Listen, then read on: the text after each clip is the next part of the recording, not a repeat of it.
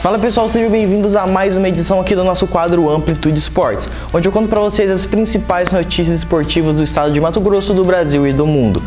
Para começar, vamos falar de futebol Mato Grossense. O Cuiabá buscou um empate por 1 a 1 nos acréscimos contra Atlético Mineiro na noite em que tinha estreantes nos dois times. Cuiabá e Atlético Mineiro fizeram um jogo de gols nos acréscimos na Arena Pantanal, na noite desta quinta-feira, na 18ª rodada do Campeonato Brasileiro. O Galo estava com a vitória em mãos, após gol de Allan Kardec aos 48 minutos e 40 segundos da etapa final. Porém, uma boa jogada do Cuiabá terminou no gol de Gabriel Pirani aos 53 minutos e 27 segundos. Resultado amargo para o Atlético que disputa a liderança e saboroso para o Cuiabá na briga contra o Z4. O Cuiabá teve chances claras de marcar em bons contra-ataques, mas soma um ponto e vai a 19, na 15ª colocação. O Galo, que precisava vencer para voltar a ser ao menos vice-líder, fez mais uma atuação apagada coletivamente e é ultrapassado pelo Corinthians, ficando em terceiro lugar. No próximo fim de semana de fechamento do primeiro turno do Campeonato Brasileiro, o Cuiabá irá visitar o Coritiba na próxima segunda-feira, dia 25 do 7, no Couto Pereira, às 19 horas de Mato Grosso.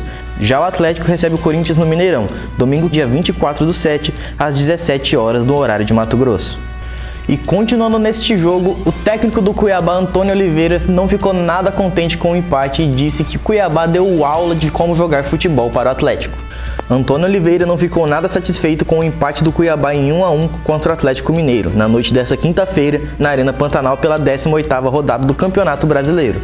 Na opinião do treinador, o resultado não refletiu na realidade do jogo e ainda disse que sua equipe deu aula de futebol. Mais de 18 mil torcedores acompanharam o empate nas arquibancadas, segundo o melhor público da Arena Pantanal do Brasileirão, perdendo apenas para o jogo contra o Corinthians, presenciado por mais de 20 mil pessoas.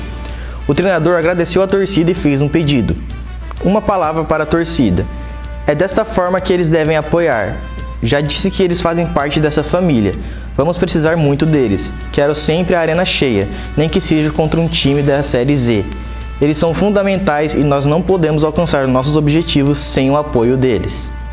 E já com detalhes definidos, seis clubes confirmam a participação do Campeonato Mato Grossense Feminino. A Federação Mato Grossense de Futebol realizou nesta terça-feira o Congresso Técnico do Estadual Feminino de 2022.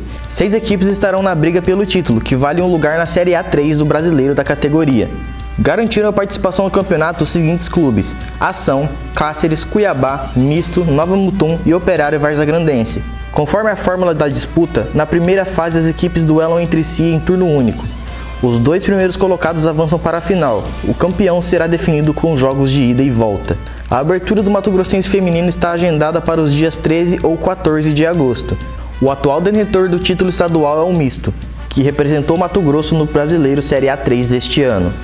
E agora passando para o vôlei nacional, o Brasil tomou uma virada dos Estados Unidos e acaba eliminado da Liga das Nações de vôlei masculino. Por um momento, uma nova história se apresentou logo à frente. A postura vibrante do início do jogo, porém, escorreu pela quadra do ginásio de Bolonha, a cada ponto de Defalco ou de Russell. Nesta quarta-feira, o Brasil queria se mostrar forte na briga pelo título da Liga das Nações, mas aos poucos viu os Estados Unidos acelerarem rumo às semifinais. Em 3 sets a 1, os americanos derrubaram a seleção de Renan Dazotto, que dá adeus à competição. Então, pessoal, essa foi mais uma edição aqui do nosso quadro Amplitude Esportes, onde você ficou informado sobre as principais notícias do esporte do Mato Grosso. Eu sou Alisson Rocha e eu vou ficando por aqui. Falou!